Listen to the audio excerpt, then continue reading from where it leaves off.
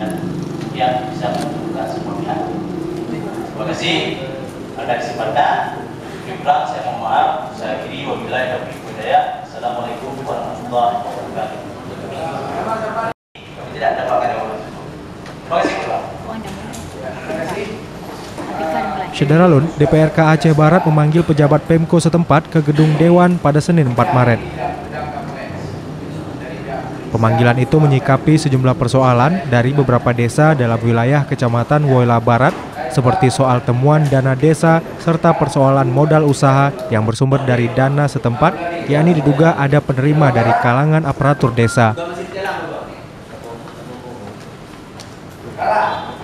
inspektorat yang kemudian tahun anggaran 2016 dan 2017 dengan angka temuan kurang sebentuk 15 sekian.